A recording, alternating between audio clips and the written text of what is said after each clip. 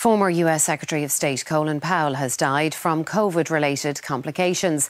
The Decorated General was the first African American to serve as the country's most senior diplomat. The 84 year old was fully vaccinated. Saddam Hussein and his regime have made no effort, no effort to disarm as required by the international community. Colin Powell later said he regretted the words for which he is perhaps best remembered.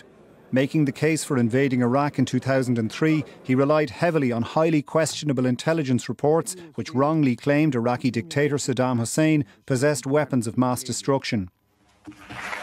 He was appointed Secretary of State by US President George W. Bush in the year 2000, the first African American to serve in the role.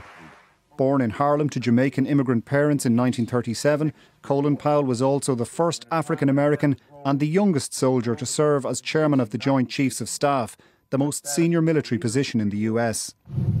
In that role, he oversaw the United States led coalition's victory over Saddam Hussein's Iraq in the 1991 Gulf War. The US government today paid tribute to the man and his career.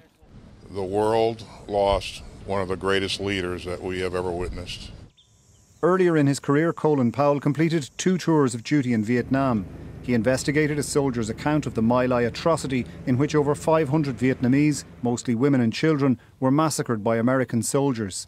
Powell controversially said excellent relations between the US Army and Vietnamese civilians disproved the soldier's account.